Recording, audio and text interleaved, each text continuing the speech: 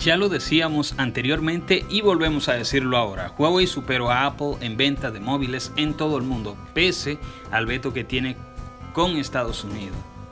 Bien, vamos a comenzar con este video chicos. Y como les dije en un video anterior, pues Huawei tuvo un crecimiento importante en el 2019 superando a Apple en venta de smartphones y consiguiendo el segundo lugar en la cuota de mercado.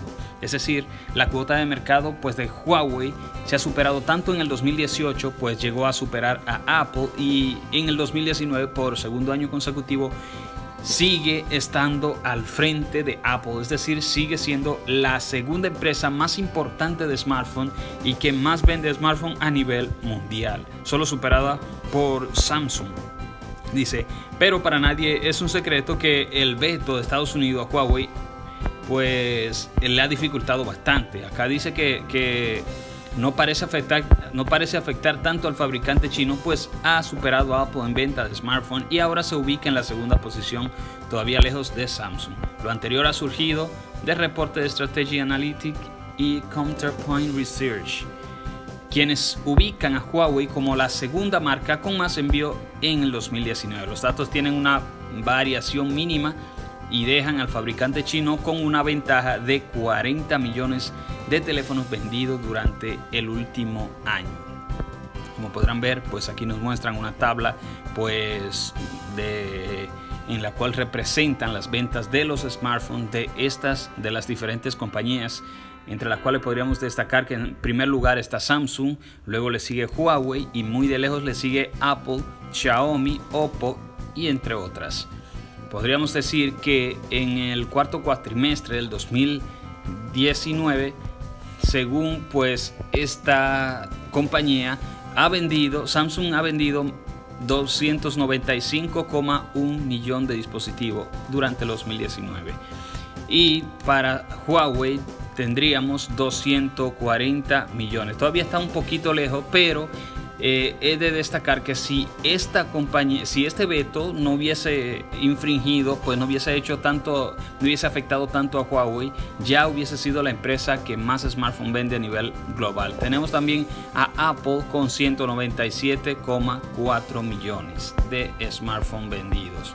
El crecimiento de Huawei con respecto al 2018 es sorprendente, un 17% que le valió la segunda posición. A pesar de eso, la empresa china no pudo hacer frente al iPhone 11, ya que Apple consiguió un récord de venta eh, durante el último trimestre con más de 70 millones de teléfonos vendidos.